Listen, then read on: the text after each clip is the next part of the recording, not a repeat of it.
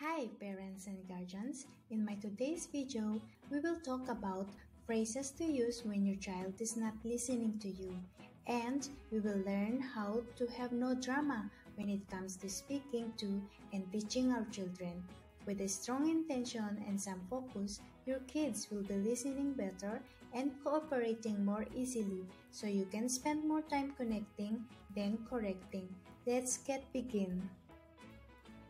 There are many things that parenthood teaches us, and one of the best is that our children are often the best mirrors. When I first found the work of positive parenting, I was a new parent who thought I kind of knew it all. I had always been great with kids, so of course, when I had my own, things would just fall into place, right? Not exactly. When life pivoted, the year I became a full time stay at home mom, my perspective shifted and I soon realized that my three years old son who seemed to be misbehaving sometimes, had some incredible things to teach me. One of the first lessons was that no matter how many ways I tried to teach him how to be a respectful, kind, little human who listened and respected others, it was all in how I acted, communicated, and treated him that was teaching him the most. As I learned more and more about ways of positive parenting, I slowly replaced my often judgmental, negative, threatening tone with a neutral, problem solving, empathetic, encouraging one.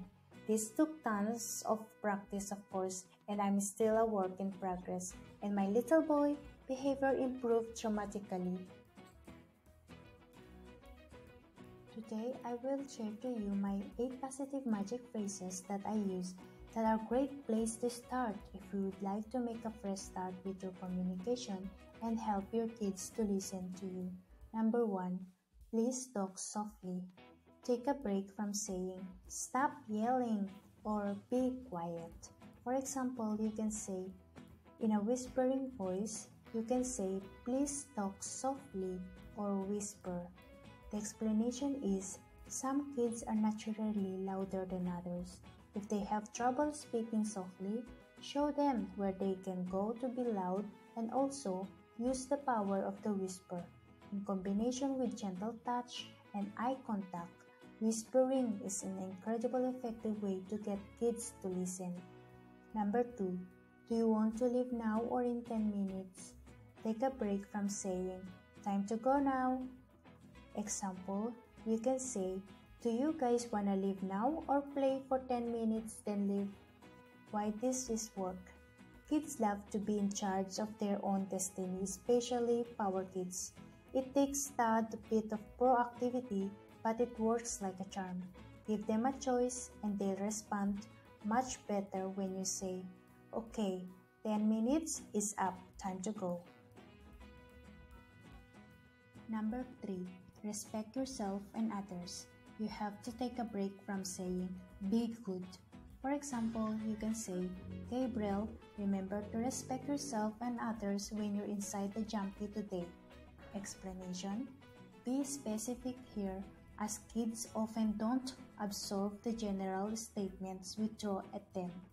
Ask for what you want and have them restate what is important to remember. Number 4. Let's add the toy you want to your birthday list. Take a break from saying, We can't afford that. Try these phrases instead. Gabriel, I am not willing to buy that. Would you like me to put it on your birthday wish list? Explanation If we are being honest, we often can afford the $5 Lego at checkout. We're just not willing to purchase it. Instead of blaming our finances and creating feelings of scarcity, on your limit and offer ideas to help them learn how to get it, like in birthday or earning money, etc. Number 5. What did you learn from this mistake?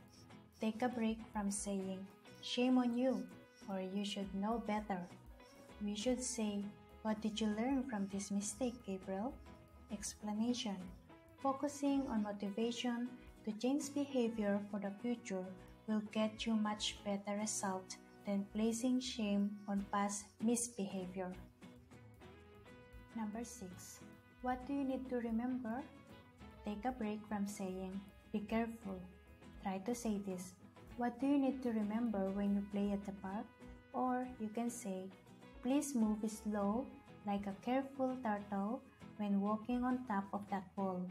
Explanation Kids often ignore when we say this same thing again and again. Instead, engage their critical thinking skills and have them restate the important precaution. Number 7.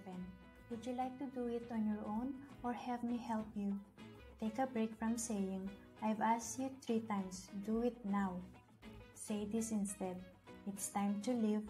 Would you like to put on your shoes by yourself or have me help you? The explanation is most kids respond incredibly well to being empowered.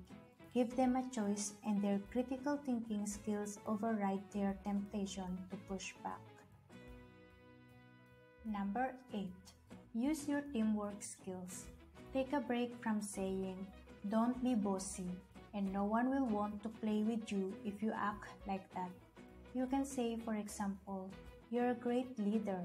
Remember to use your teamwork skills today. Ask your friends questions instead of telling them what to do and let others have a turn leading to explanation. Many kids who have a strong desire to lead or feel powerful are often told they're bossy or that no one will want to be their friends if they act mean.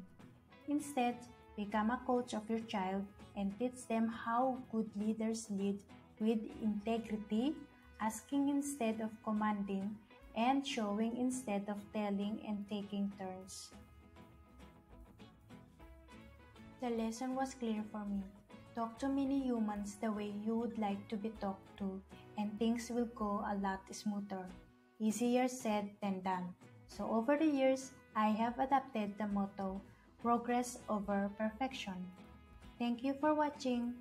And if you are parents or guardian watching this, please comment below and share your thoughts how to deal with your kids when they are not listening and much appreciated if you give thumbs up, share, and subscribe to our channel and press the bell icon to get new video updates. Thank you. Bye for now and see you next video.